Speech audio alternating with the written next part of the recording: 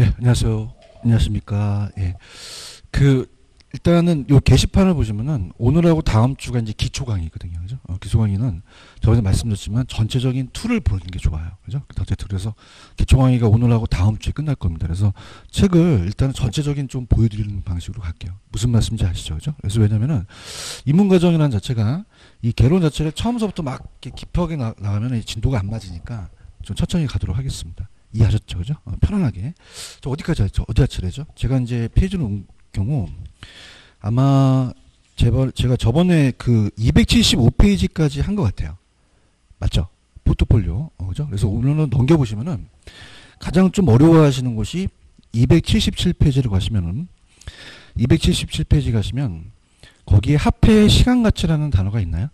찾았습니까? 어, 여기다 이제 별표를 한세개 정도 쳐놓는데 어, 이 난이도가 좀 있어요. 있는데 출제 빈도는 높아요. 그래서 우리가 부동산 투자라는 건 현재 지출과 장래 수익을 비교해서 투자 여부를 합니다. 그죠? 그럼 내가 지금 100원을 냈으면 장래 100원과 지금 100원은 의미가 틀리죠. 그죠? 그러면 그래서 그런 것들을 이제 우리가 향해서 이제 보는데 어, 개수가 미래 가치 개수가 세 가지 있고 현재 가치가 세 가지 있는데 저는 인문 과정에는 일시불의 내가 개수와 일시불의 현가 개수라는 단어가 있나요? 이 두 가지만 좀 잡을게요. 그죠? 잡고 그 다음에 이제 여러분 이제 밑에 일시불의 미래 가치라는 게 있고요. 쭉 나오는데 자, 이거부터 좀 말씀을 드릴게요. 자, 일단 인문 과정에서는 들어보세요. 우리가 합해 합해 시간 가치입니다. 자, 합해의 시간 가치를 이제 한번 배워 볼게요. 합해의 시간 가치. 자, 그럼 지금 돈 100만 원이 있어요. 100만 원.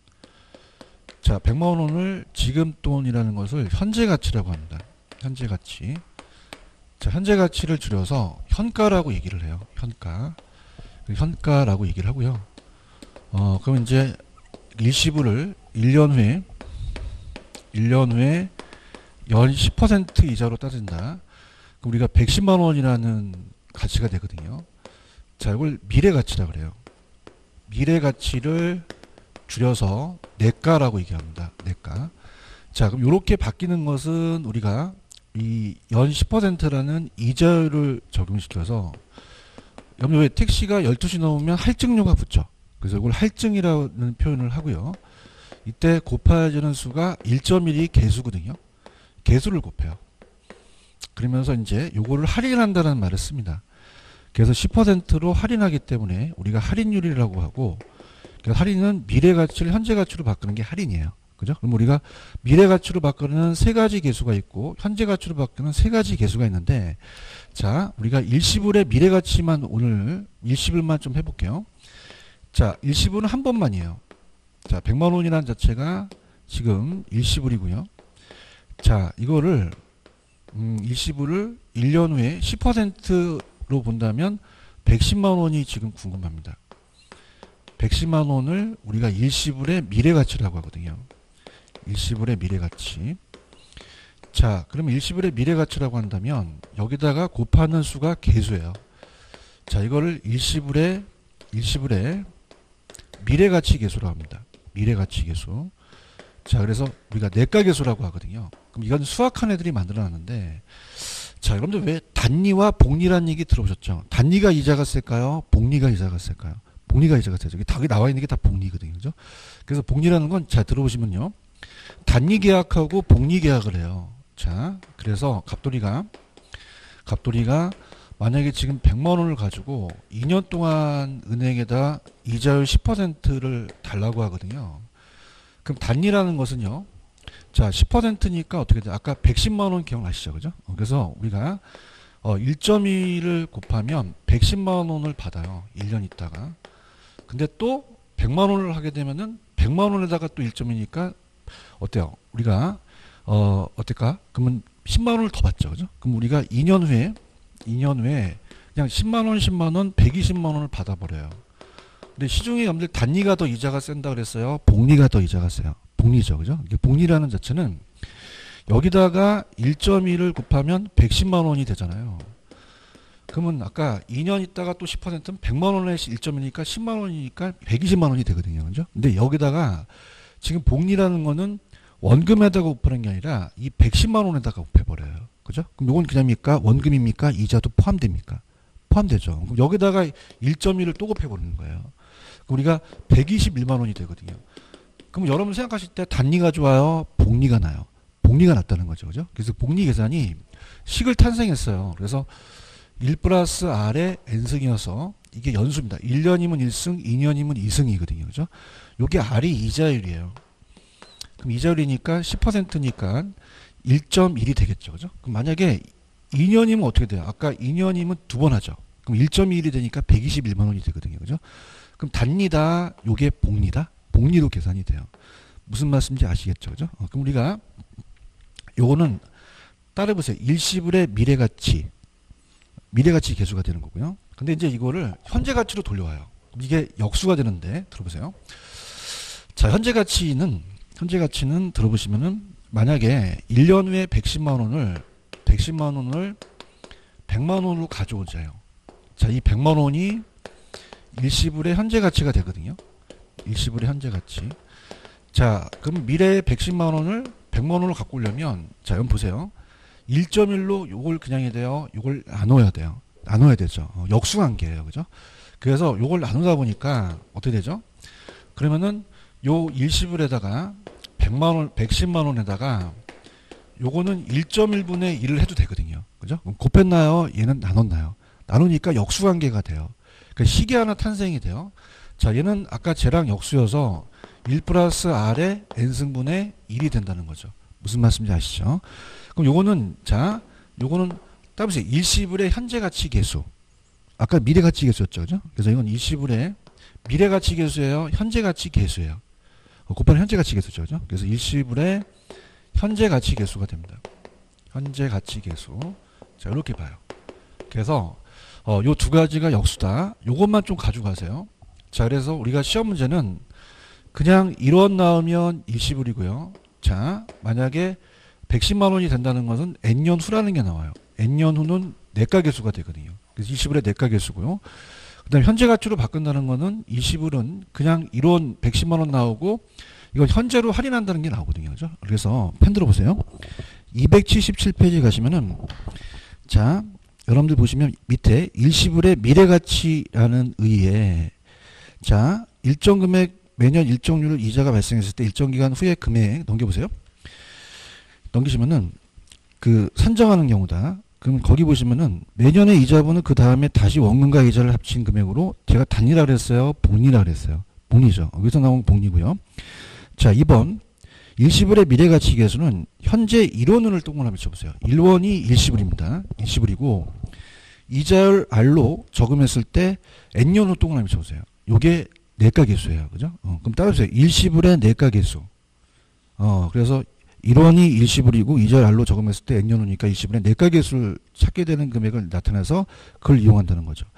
그래서 3번을 보시면은 현재 5억인 주택이 5억이 일시불이고 매년 5% 상승하는데 일시불의 미래가치계수 사용할 때는 10년 후라는 건 뭐예요? 이건 내가죠. 그죠? 그래서 일시불의 내가로 사용해서 주택가격 산정하고요. 자, 오른쪽 가십니다. 현재 가치로 갈게요. 현재 가치로 가시면 자, 일시불의 현재 가치라는 것은 자, 의의에 가시면요. 현재 가치란 미래 발생할 일정금을 현재 시점에서 평가하거든요. 그럼 현재 가치를 줄여서 그냥입니까? 아까 현가라고 얘기했습니까? 그럼 아까 일시불의 미래 가치와 반대인 개념이 되겠죠. 그죠? 어, 그래서 일시불의 현재 가치는 1 플러스 R의 N승분의 1이에요. 그럼 일시불의 현가 계수와 일시불의 내가 계수는 그냥입니까? 이 두 관계가 역수 관계입니까? 역수죠. 어, 그래서 얘는 할인율이라는 게 나오죠. R%일 때 N년 후의 1원이 일시불이고 현재 얼마냐니까 일시불의 현가 계수를 사용한다는 거죠. 그럼 3번 별표. 자, 10년 후에 1억을 동그라미 적으세요. 1억이 일시불이에요. 일시불이라고 적으시고요. 일시불이라고 적으시고 그 다음에 거기 보시면은 예상되는 토지 현재 가치를 계산한다. 현재 가치다 동그라미 쳐보세요. 그러면 현가를 얘기한다는 것은 요거는 내가 계수를 곱하는 거예요. 일시불의 현가 계수를 곱하는 거예요. 현가 계수를 곱하는 거죠. 어, 이렇게 정리하시면 됩니다. 무슨 말씀인지 아시겠죠? 그죠? 어, 이렇게. 그래서 이 두 가지만 좀 입문 과정에서는 알아갔으면 좋겠어요. 그죠? 그래서 일시불의 내가계수와 일시불의 현가계수가 이따가 이제 할인연금 수지 분석법에 일시불 현가계수를 또 이용하거든요. 그죠? 이렇게 해서 이제 보시면 됩니다. 일시불은 여러 번이에요. 딱 한 번이에요. 한 번이고 딱 1원이라는 게 나오고 내과계수는 N년 후라는 게 내과계수가 되고요. 현가계수는 현재 할인한다는 말이 나오거든요. 이렇게 해서 여러분들이 보시면 됩니다. 무슨 말씀인지 아시죠? 그 다음 여기서 나오는 건 다 단위 계산이다, 봉이다, 봉이라는 거. 그래서 어, 지금 전체적인 틀을 보려면 다 하게 되면 너무 시간이 걸립니다. 이건 이제 제가 기본 강의에서 해드리도록 할게요. 아시겠죠? 어, 넘기세요. 자, 이걸 제가 여러분한테 소개시켜 드린 거는 이제 이따가 그 할인연금 수지 분석을 볼 텐데 일단 제가 가장 중요한 걸 좀 볼게요. 283페이지로 가시면은 자, 283페이지로 가시면은 거기에 맨 밑에 가시면 현금 흐름 측정이라는 게 있나요? 283페이지 맨 밑에 찾았습니까? 어, 제 이름 석자 내고 이건 별표 3개짜리입니다. 이건 100% 시험 문제 나옵니다. 안 나오면 제가 강의 접습니다. 그죠? 이건 무조건 떠요. 그래서 넘기시면은 자, 현금 흐름이나 cash flow가 넘기시면은 영업 현금 흐름 계산이라는 단어가 있죠. 어, 특히 여기가 시험 문제가 100% 나옵니다. 100% 출제가 되기 때문에 보세요. 자, 그럼 마음을 차분히 가지시고 우리가 임대 사업하면 그냥입니까? 임대료를 받습니까? 받죠. 받으면은 돈이 들어오는 것만 있어요. 나가는 것도 있어요. 나가는 현금 흐름을 계산한다는 거고. 그 다음에 한 페이지 넘기시면요. 넘기시면은 한 페이지 넘기시면은 자 287페이지로 가시면요. 287페이지로 가시면 내가 임대료만 받아요. 나중에 매각도 해요. 매각도 하죠. 매각의 현금 흐름이 이제 두 가지예요. 그죠? 그러니까 우리가 임대료의 영업의 현금 흐름과 매각의 현금 흐름을 가지고 거의 시험 문제는 100% 출제가 됩니다. 그래서 여러분들이 채널을 고정시키는 게 어디냐면 페이지 가시면은 왜 284페이지 가시면 박스가 하나 있나요? 284. 284 박스 하나 찾으셨어요? 어, 요거, 요거 이제 제가, 어, 지금 책에도 이제 우리가 그, 이 자체적으로 이제 이걸 강조하면서 제가 이제 강의를 할 텐데요. 자, 전체적인 틀을 한번 볼게요. 제가 임대사업을 해요. 그럼 임대사업을 하게 되면 임대료 받아요. 나중에 매각, 양도 차익도 있어요. 돈이 들어오는 것만 있어요. 나가는 것도 있어요. 그 현금 흐름을 갖고 따지거든요. 그죠? 그래서 이제 그걸 가지고 이제 전체적인 흐름을 이제 보는 게 좋습니다. 들어보도록 하죠. 자, 우리가 이제 제목은 이제 현금 흐름의 측정인데 만약에 어 임대 사업을 해요. 그래서 20억의 그 임대용 부동산을 투자했어요. 이걸 총 투자 얘기라고 하거든요. 총투자액을 투자해서 지렛대 효과가 타인 돈을 빌려야 되기 때문에 10억은 내 돈으로 들어가고 10억은 저당으로 빌렸어요. 그래서 10억을 돈을 자기 자본이라는 건 남의 돈이에요. 자기 돈이에요. 자기 돈이죠. 이걸 지분이라고 합니다. 갑돌이가 자기의 돈을 투자했어요. 여기다가. 그래서 이걸 지분 투자액이라고 하고 얘를 지분 투자자라고 해요. 자, 10억을 은행에서 땡겼습니다. 그럼 은행의 대원은 자기 자본일까요? 타인 자본일까요?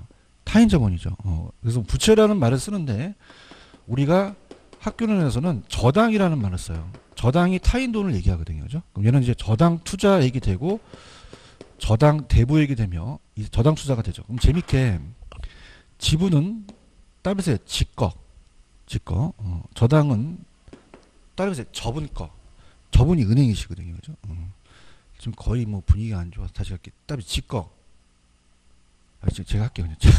지거는 자기 거예요. 그죠? 어, 저당은 자기 거예요. 저분 거예요. 은행 거죠. 그죠? 어, 재밌게. 어, 거의 뭐 지, 재밌어 하려고 하는데 분위기가 좀 안 좋아서 지분은 누구 거? 지 거. 저당은 저, 저분이 누구세요? 은행이죠. 그러니까 지분 투자자와 저당 투자가 다르다는 거죠. 아시겠습니까? 어, 그래서 이제 투자를 해요. 투자를 해서 취득을 하고요. 취득을 하고 임대 사업을 합니다. 그래서 운영과 영업은 똑같은 용어예요. 운영한다, 영업한다.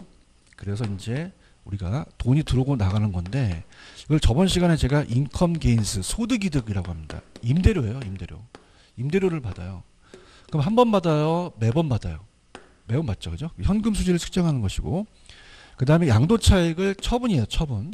그럼 처분이라는 것은 우리가 요 처분에 대한 거를 자본이득이라고 하는데 여러분들 왜 양도소득세라는 얘기 들어보셨죠?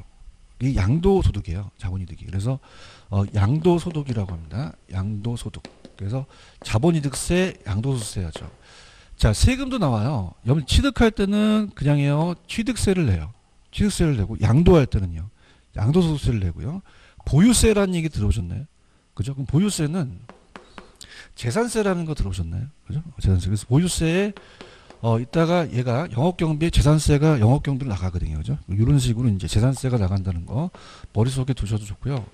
자, 그러면 얘가 임대 단위수가 있습니다. 자, 지금 만약에 임대 단위수가 25칸의 임대 단위수가 있으면 이걸 채워요. 그래서 다 채웠을 거라고 가정해서 가능 총소득을 계산합니다. 이게 25칸이라면 이렇게 이렇게 이렇게 이렇게 자 이걸 하나하나를 임대 단위수라고 하고 25칸이 있고 여기다가 그냥 간단하게 100원이라면 2,500원서부터 시작해요. 근데 다 채웠어요. 채웠을, 채웠을 거를 예상하는 거예요. 예상하죠. 그죠? 그래서 우리가 이따가 제가 맥을 잡아 드릴 텐데 자 이걸 이제 가능 총소득이라 그래요. 그래서 우리가 운영 시 영업 시 운영 시의 현금 수지입니다. 자 그래서 이거를 어, 영업현금 흐름이라고 하거든요.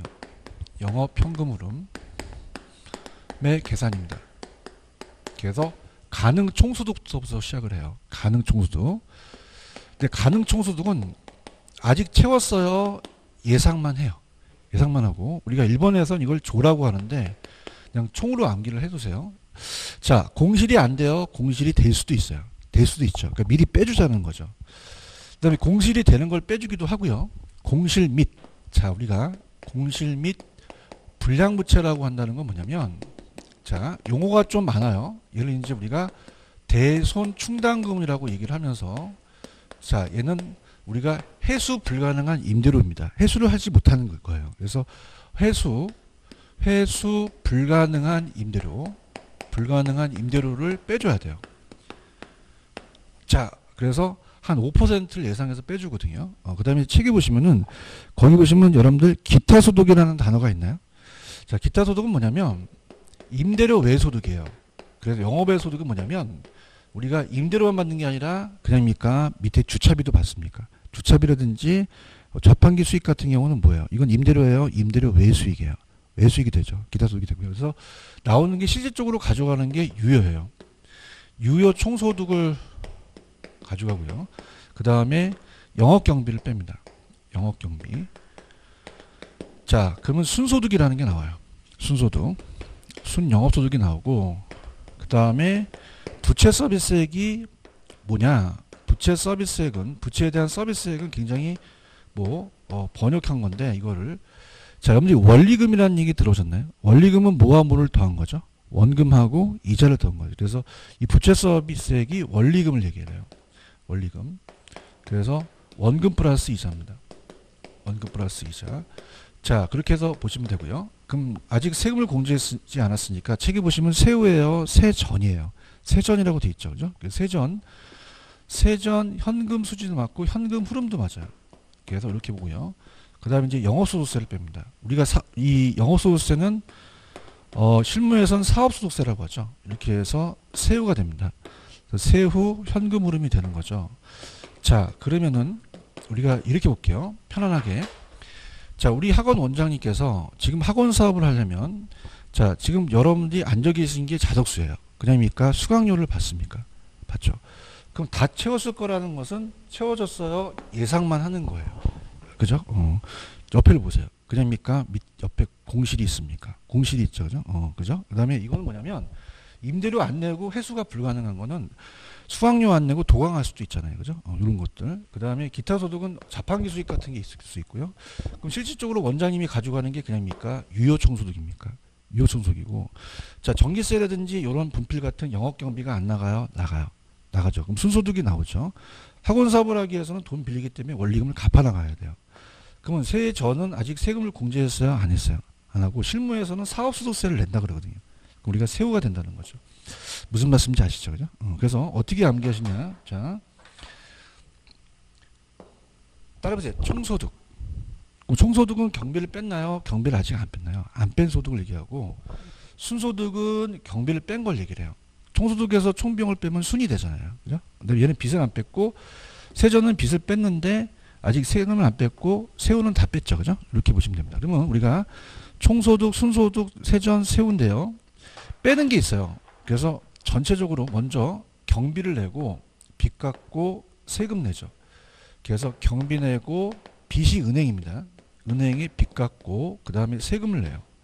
그래서 이 비비세 자 따라서 비비세 그러면 경, 경비 서비 그 다음에 세니까 비비면 네 살이 막 빠지죠 그죠 빼는 거다 이렇게 염두에 보시면 되고요 그 다음에 조금 우리가 시험 문제가 계산 문제가 나올 수가 있는데 만약에 100원에서 10원 빼면은 90원이고요 90원에서 10원 빼면 80원이고 10원 빼면은 70원이라면 밑에 소득이 큽니까 위에 게 큰 편입니까 큰 편이죠 어, 근데 이제 얘는 반드시 커요 경비는 들어가는데 근데 만약에 내 돈을 다 전액 투자했어요 그럼 그냥입니까? 빚을 안 갚아도 됩니까? 그럼 얘와 얘가 같을 수도 있고요. 그 다음에 적자면은 이게 안 나올 수도 있죠. 세선과 세호가 같을 수도 있다는 얘기입니다. 아시겠죠? 그럼 펜 들어보세요. 자, 좌측에 가능 총소득이라는 단어가 있나요? 찾았습니까? 어, 최대한 임대료 수입을 얘기합니다. 임대 단위당 연간 예상 임대료와 임대 일수 곱하고요. 공실 아까 불량 부채는 아까 해수 불가능한 임대료이기 때문에 읽어보시고요. 밑에 기타 소득은 임대료예요. 임대료 외 수익이에요. 뭐 주차비 수입이라든지 세탁기 수익 같은 걸 얘기하죠. 그 다음에 이제 유효총 소득이 아까 어, 기타 소득까지 더한 다음에 나오고 영업 경비에다가 별별 쳐보세요. 아 이게 시험 문제입니다. 자 영업 경비에 포함되는 게 있고 포함되지 않는 거는 기초반에도 좀 잡는 게 좋아요. 자 여러분들 우리가 영업을 하려게 되면 그냥입니까? 포함되는 것은 유지관리비가 들어갑니까?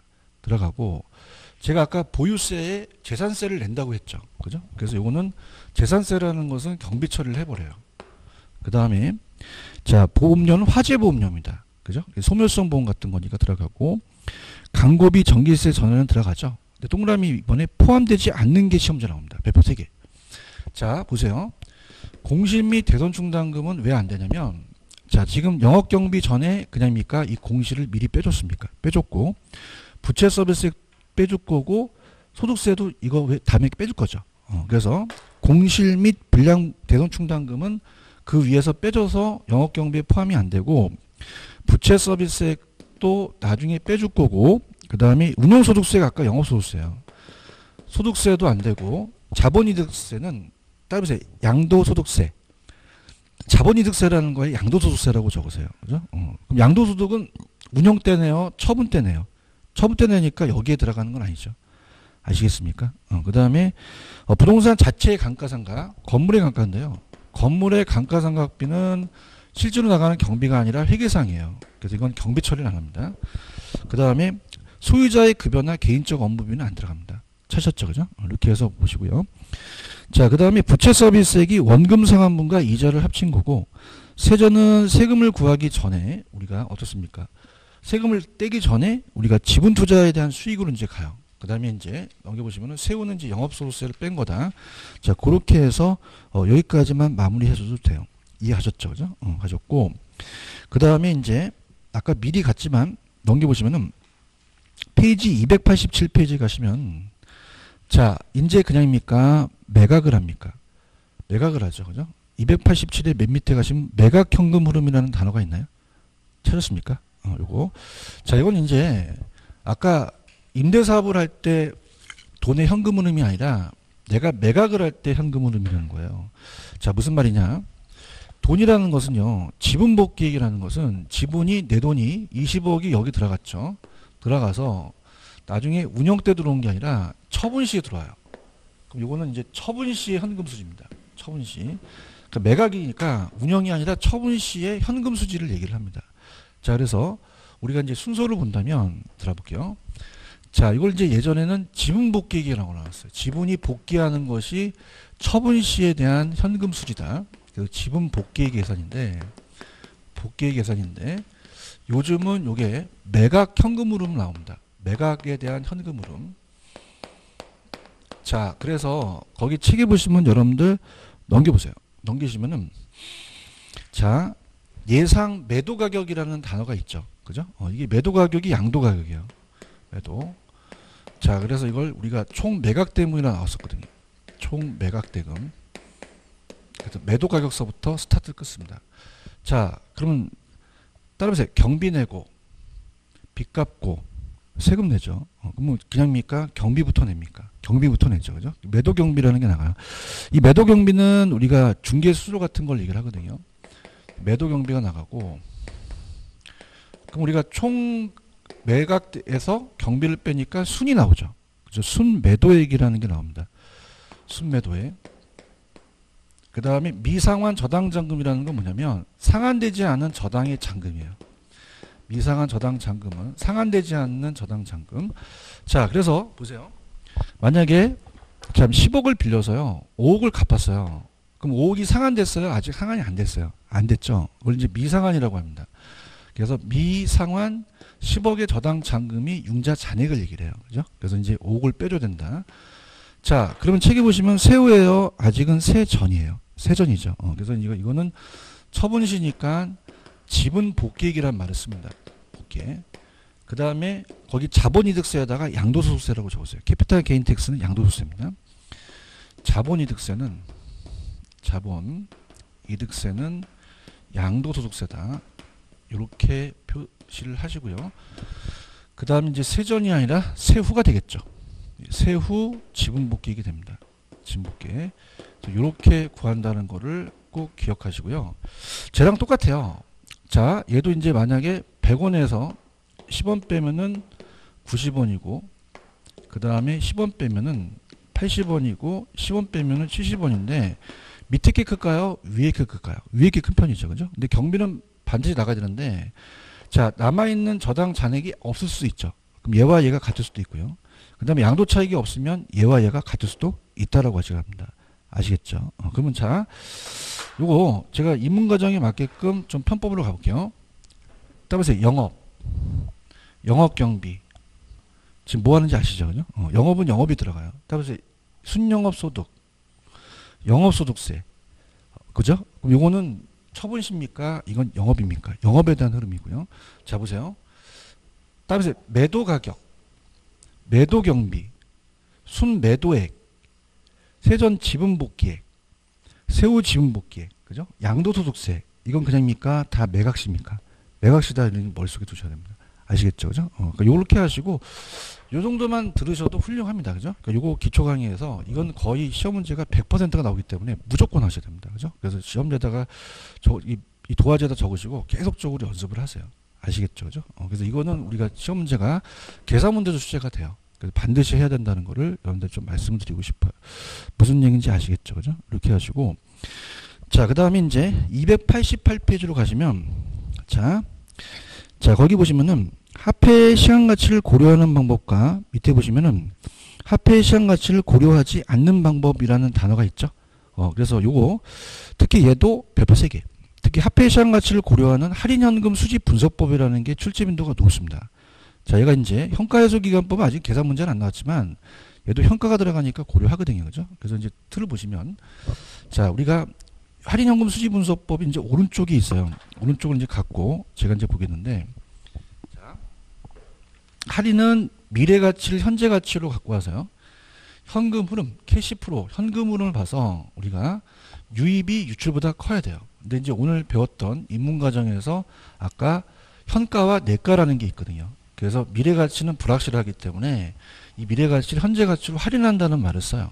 그래서 할인 현금 수지 분석법이라고 얘기를 합니다. 자, 그래서 얘는 화폐 시간 가치를 고려하는데요. 들어보십시오. 자, 지금 우리가 공부했던 거였어요. 자, 들어보시면요. 자, 할인 현금 수지 분석법의 정의입니다. 자, 할인 현금 흐름이라고 그래요. 자, 이걸 cash flow, 그죠? 현금 흐름인데요. 현금 흐름법, 분석법이라고 하죠.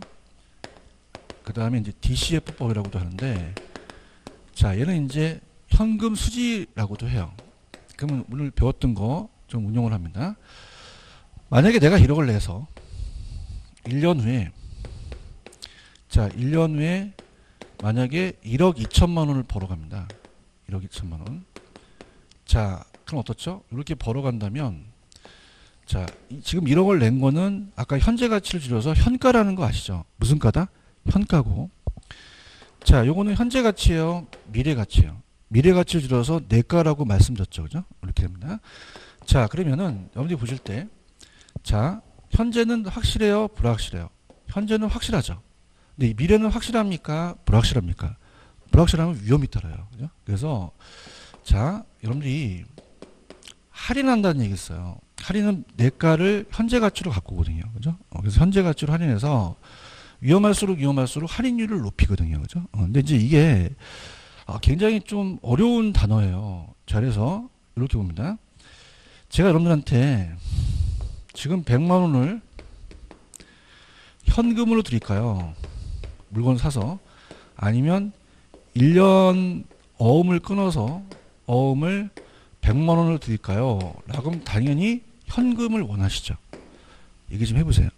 자, 이건 그냥입니까? 1년 후입니까? 1년 후죠. 어, 그럼 어음이라는 자체가 위험할 수가 있잖아요. 그죠? 어, 그래서 만약에 이 어음이 굉장히 어, 듣지 못하는 위험한 어음이에요. 그럼 위험할수록 위험할수록 그 사채업자가 할인율을 높입니다. 그럼 할인율을 낮춘다, 할인율을 높인다. 높이게 되면 하, 이 어음의 가치가 어떻게 돼요? 떨어지거든요. 무슨 얘기인지 아시겠죠? 그죠? 그럼 어, 위험할수록 위험할수록 낮은 할인율, 높은 할인율, 높은 할인율 적용시켜요. 그런가요? 그럼 부동산도 위험하면 위험할수록 할인율을 어떻게 높이겠죠? 그럼 할인은 따르면서 미래 가치를 현재 가치로 그러면 현재 가치로 돌리면서 이 현가가 떨어지게 되거든요. 그죠? 어, 그러면 얘도 현재 가치니까 현재 가치로 돌려와야 분석이 가능하다는 겁니다. 아시겠습니까? 어, 그럼 우리가 이게 나간 돈이라면 유출이 많아야 돼요? 유입이 많아야 돼요? 유입이 많아야겠죠. 그죠? 어, 이렇게 보십니다. 자, 그래서 얘는 의사결정을 어떻게 하냐면 들어보세요. 현금 유입의 현가와 현가와 그 다음에 현금 유출의 현가. 현금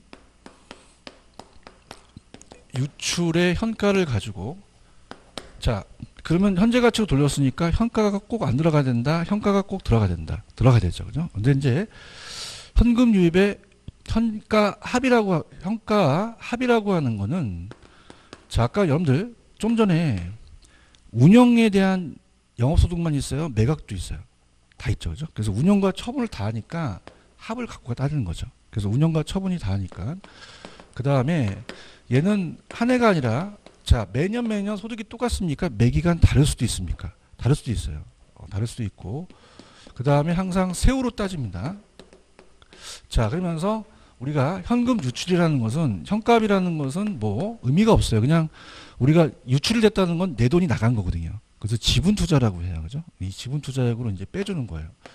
그럼 지분 투자액으로 이제 따져보는 거죠. 왜냐하면 이제 유입에 이제 아까 어, 빚은 다 갚았으니까. 그죠? 그래서 요걸 이제 보면서 자 그러면 유출이 많아야 돼요? 여러분들은 유입이 많아야 돼요.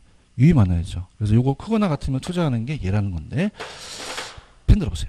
자 제가 어디만 이제 체크하냐면 개념입니다 자 할인 현금 수지 분석법을 DCF법이라 그래요 이 discounted가 할인이고요 cash flow가 현금 흐름이거든요 그래서 현금 흐름을 분석했다는 장점이 있으면서 F는 이제 분석인데 자 장래에 예상되는 현금 수익과 지출을 무슨 가치로 할인했습니까? 현재 가치라는 것 박스. 그래서 이걸 서로 비교했죠. 그래서 세후 현금 흐름 기준으로 가고요. 그 다음에 이제 투자에 판단은 모든 현금을 현재 가치로 환원한다는 가정으로 간다는 얘기예요. 무슨 말씀인지 아시겠죠? 그죠? 그래서 오늘 요거는 자 지금 제가 하라는 것만 하는데 지금 이 수년제 가치법의 기본적인 개념만 잡으세요. 자 갑니다. 들어보세요. 자 수년제 가치법이라는 건 뭐냐면 수년가예요. 수년제 가치. 그래서 수년제 가치를 우리가 수년가법이라고 합니다. 수년가.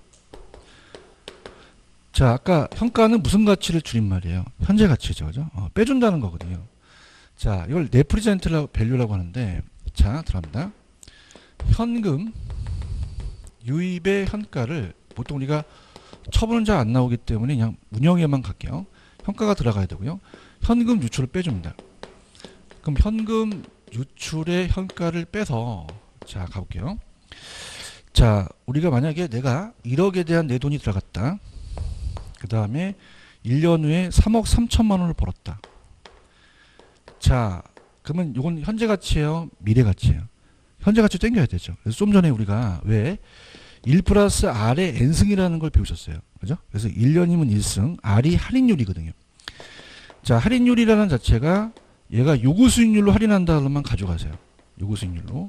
그래서 요게 만약에 10%다. 그럼 얘가 0.1이니까 1.1이 되니까 3억이 되거든요. 그럼 3억에서 1억 빼면 2억을 수년제 가치를 배, 번 거예요. 그래서 2억. 자, 입을 여세요. 2억. 수년제 가치. 금액. 그러면 이게 플러스가 되지 마이너스가 되면 안 되거든요. 그래서 얘는 이게 0보다 커야 돼요. 뭐보다 커야 된다? 0보다. 어. 자, 그것만 잡으세요. 펜 들어보세요. 자, 입문과정은 개념만 잡습니다. 수년제 가치법 의 있나요? 장래에 기대되는 세전이에요? 세후소득이에요? 현재 가치학계와 최초의 투자 비용 지출의 지분 현가를 서로 비교하는 겁니다. 자, 그럼 박스 별표 어떻게 됐어요? 현금 유입 현가에서 현금 유출 현가를 그냥입니까? 뺐습니까? 뺐죠. 그래서 자, 입문 과정은 상호 독립적으로만 보세요. 상호 독립적으로 보시면 순현가가 뭐보다 커야지만 채택한다고 제가 말씀드렸죠. 0이죠. 음, 대답 좀 해주세요. 0보다 작으면 채택해요, 기각해요.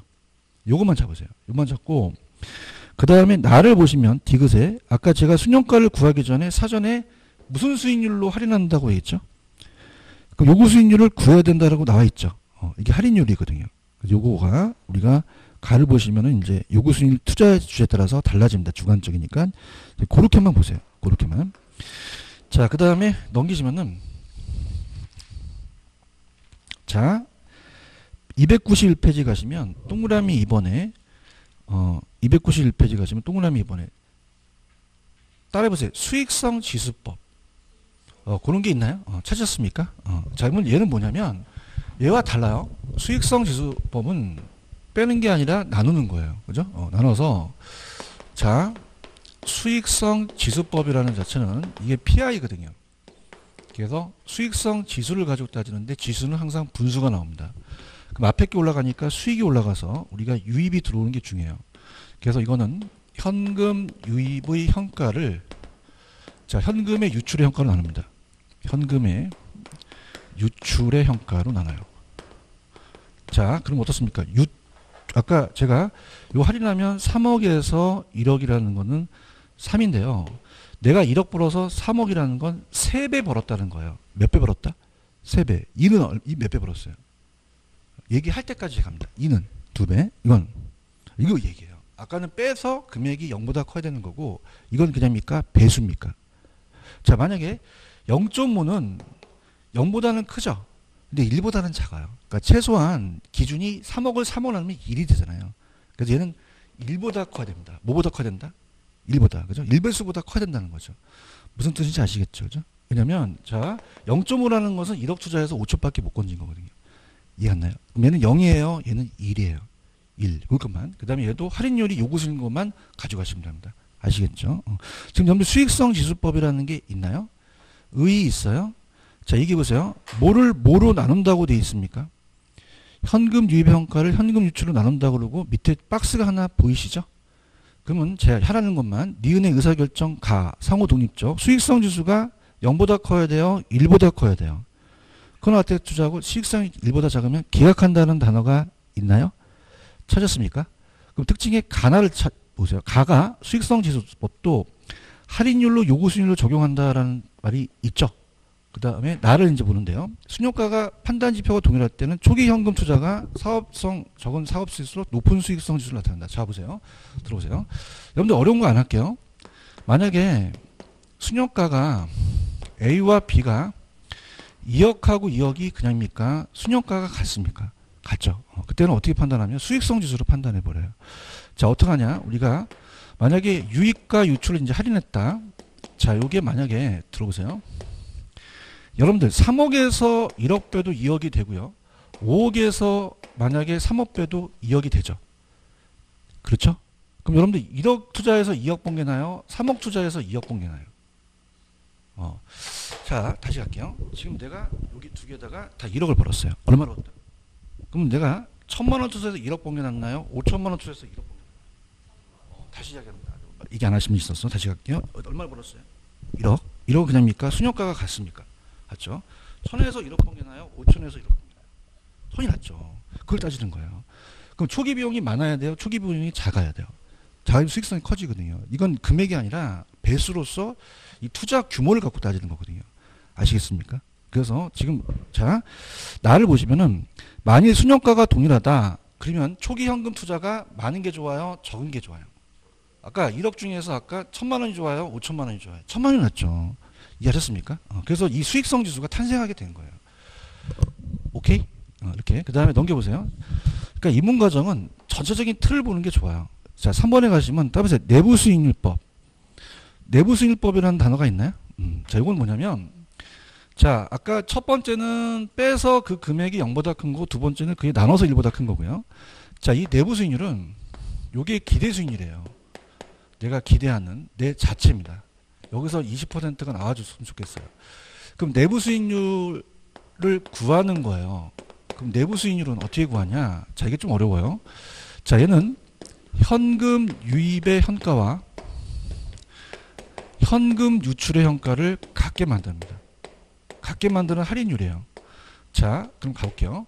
내가 만약에 1억 투자해서 1년 있다가 1억 2천 벌었어요. 그럼 그냥입니까? 이걸 같게 합니까? 그죠? 할인율이 필요하죠. 그죠? 어, 그럼 아까 불러보세요. 어떻게 됩니까? 1 플러스 R의 N승이잖아요. 1년이니까 1승이잖아요. 그런가요? 그죠? 그럼 이제 요거는 제가 팁을 드리면 무조건 이 R을 구할 때는 1년밖에 안 나오지 2년이 나올 수가 없어요. 그죠? 그럼 자, 자, 일단 원리는 자, 요걸 볼게요. 만약에 1억 2천을 1 플러스 R의 1승을 나눠서 요걸 1억이라면 얘와 얘를 바꿀 수 있겠죠. 그렇죠. 어, 그럼 우리가 1억 2천에다가 자 1억을 하게 되면 1.2가 되고요. 그 다음에 1 플러스 R이 넘어가니까 R은 넘어가면 0.2가 돼서 20%가 되거든요. 그죠? 근데 이거를 따라하지 맙시다. 따라하지 말고 제가 가르쳐 드릴게요. 1억을 밑으로 깔아요. 얼마 깐다? 1억. 1년이라는 과정에서 요 차이를 올려요. 그죠? 그럼 1억이 2천입니까? 그냥입니까? 20%가 됩니까? 그죠? 어, 요게 이제 구하는, 빨리 구하는 방식입니다. 아시겠습니까? 그럼 요 20%가 따라서 내부 수익률. 어, 내부 수익률이 되는 거예요. 이게 할인율이거든요. 그죠? 그 자체로도 투자하는 거예요.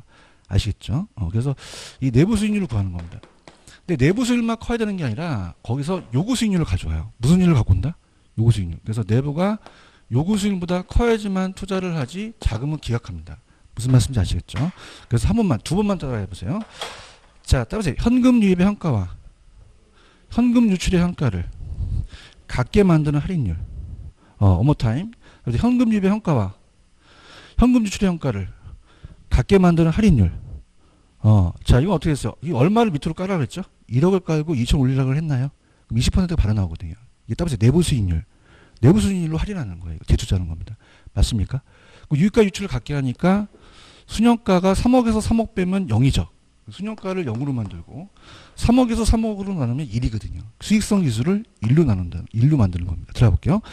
자, 지금 3번에 내부 수익률법이라는 단어가 있나요? 찾으셨습니까? 자, 그러면 내부 수익률이란 자, 예상된 현금 유입의 현값과 현금 유출의 현가를 어떻게 만드는 할인율이에요. 서로 같게 만드는 할인율이라고 했죠. 여러분들 화이팅.